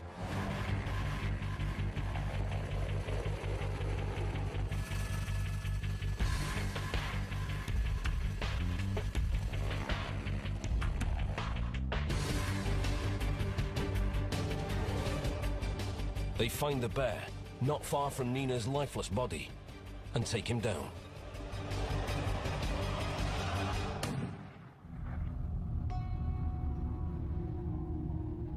But Sarah's darkest fears are confirmed. It was kind of. There was a false hope all the time. No, she wasn't alive. She had died sometimes, some minutes ago. I don't know. Investigators look for a motive and learned that right before the bear charged, a huge plane flew overhead, the C-130 Hercules. Bears are known to dislike loud noises, and the C-130's engines rock the plateau. And the bear attack on Ola Vickman and Helmer Christensen seemed to be triggered by a gunshot. But is a loud noise enough to send a bear on a death charge? A man-eating lion is on the loose in Africa, having already killed 42 people. Locals call the cat a spirit lion, an evil beast invisible to human eyes.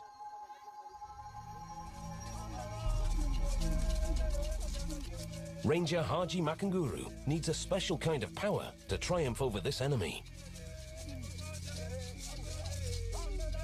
So a team of local bush doctors performs rituals, hoping to defeat the lion's deadly magic.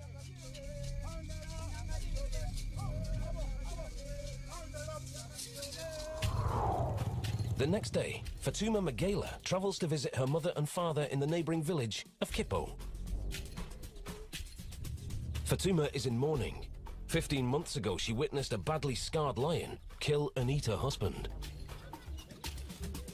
Over dinner, they discuss the lion's latest attacks. After supper, we talked for a while, then we went to sleep. Silently, the man-eater of Rufiji leaps up their three-meter wall and dives through the roof. We were in a deep sleep, then I heard my mother screaming.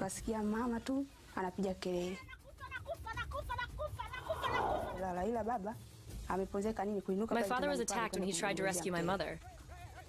When the lion saw that my father was fighting, it grabbed him by the throat and killed him. I did not cry. I knew that if I made a sound, we would all be taken. Fatuma recognizes the beast. It's the same lion that killed her husband. Within seconds, her parents meet the same gruesome end. The man-eater of Rufiji has now killed 47 people. The locals trying to survive this threat flee across the river.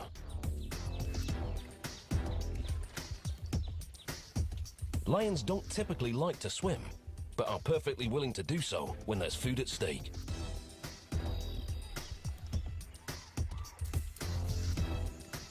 Days later, two elderly women become victims 48 and 49.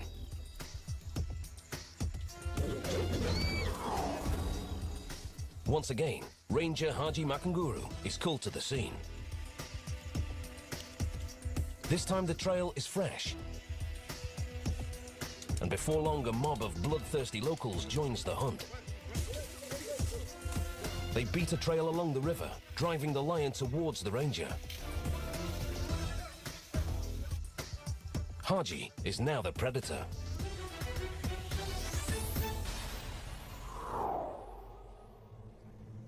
In Botswana, Diana Tilden Davis struggles to stay alive.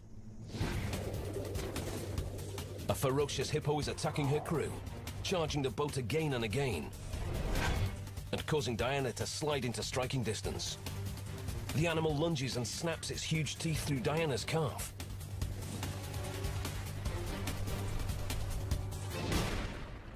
Then, a flare gunshot distracts the creature and Diana scrambles to safety. Janice Simpson isn't so lucky. On her honeymoon, she suffers a dreadful hippo attack, and her body is left with devastating puncture wounds. She she had been bitten through the chest. She'd been bitten in the head, and, and she was just losing blood so quickly. Two hippo attacks just days apart in the same African paradise. Something triggered this devastating rage. Why were both of these herd animals alone? He was definitely trying to hide. Because he was quite big and it was quite shallow, he had made a little sort of wallow in the in the sand to get completely under the water. The hippo must have been submerged and, and crouching in, in the water. So the water couldn't have been deeper than a couple more feet where the hippo was hiding. There's no ways it could have been there unless it was crouching. Diana remembers another gruesome detail. When he came for us, his mouth was open. Lots of cuts and gashes in his mouth. His ear had been chewed on and his face was all scarred and open. They were all fresh, fresh wounds. Only another hippo could have inflicted this type of punishment. It's been relatively dry in the Okavango this season, forcing the hippos into close quarters. Couldn't even begin to count them. It was one of the things that staggered me was the density of the hippo population. Higher concentrations trigger more fighting, and more fighting means more hippos on edge, ready to strike.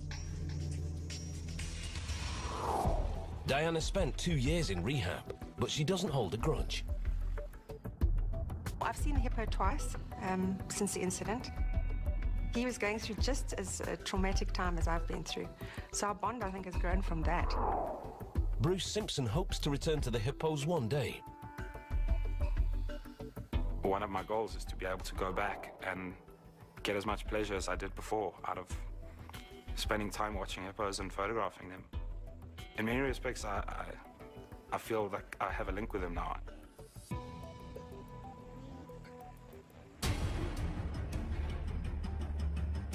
Polar bear threatens the lives of Ola Vickman and Helmer Christiansen.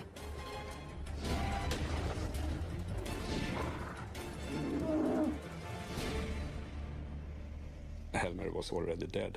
I couldn't do anything for him. Bleeding profusely and in shock, Ola staggers towards the boat, hoping the bear doesn't come back for more.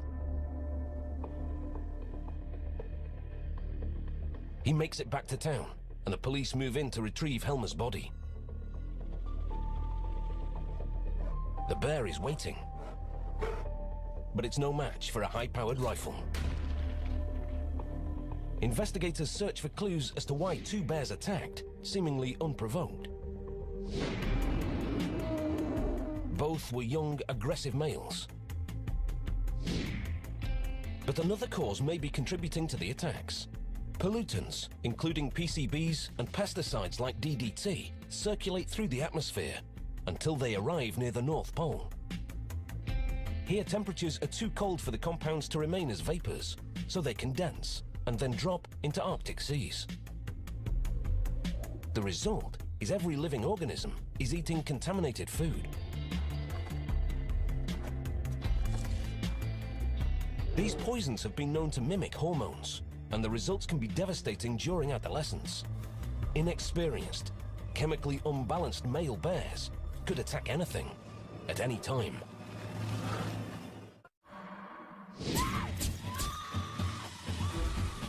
A male baboon has just killed Leti Tukana's three-month-old daughter, Neo.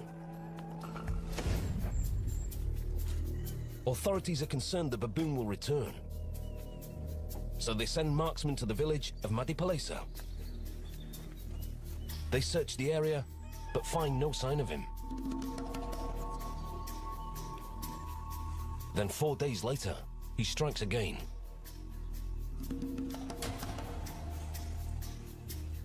The baboon was found inside the compound. It had killed one of the goats. The owner of the cattle post saw the baboon running away with the hind quarter of a goat dripping with blood.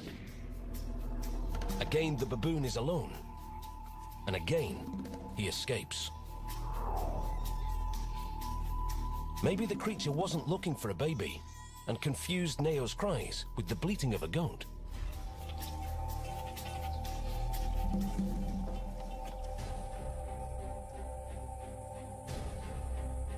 Seven days later, Rangers take down the dangerous baboon. He's old and missing teeth. This animal was probably an outcast, cut off from his troop and forced to fend for himself. Further south at Cape Point, Another aggressive male baboon threatens Christine Coetzee's baby girl.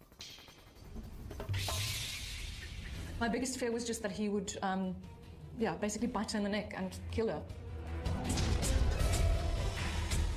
He then must have noticed the small backpack lying on the seat next to him, and he took the backpack and ran across the road. He literally unpacked everything and noticed that there was no food in it, and then discarded the backpack. But this primate refuses to leave empty handed. I saw the baboon um, coming back to the car.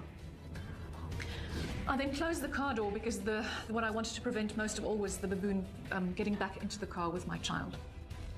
And I was basically standing with my back against the car door, and he was sitting um, in front of me. I didn't know whether to look at him or to not look at him. I didn't know whether I should back away, and the next moment, the baboon ran up to me and bit into my um, lower arm. And I, as I whipped around, he, he sort of fell off. I grabbed hold of my other arm, and as soon as I got him off, I just ran for my, my door and got into the car as quickly as possible.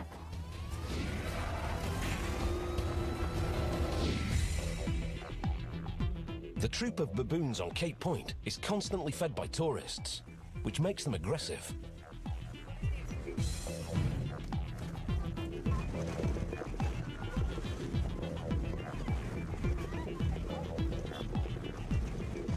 Other troops on the peninsula invade neighborhoods.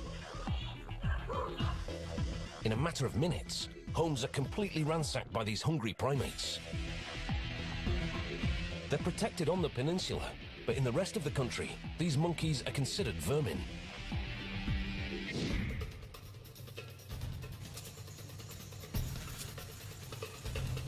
Ranger Haji Makanguru has a man-eating lion in his sights.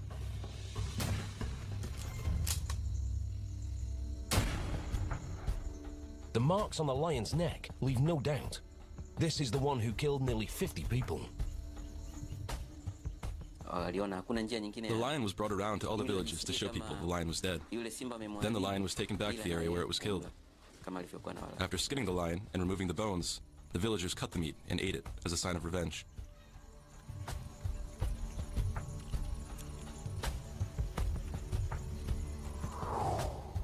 One of the largest cases of man-eating is finally over. But what turned this lion onto the taste of human flesh? His remains tell the story. The cat's left canine tooth is normal, perfectly vertical, but his right canine is damaged, broken, and tilted forwards. A big cat's teeth are his most prized possessions, but they're vulnerable weapons. The hooves of twisting zebra and buffalo can shatter teeth and jaws.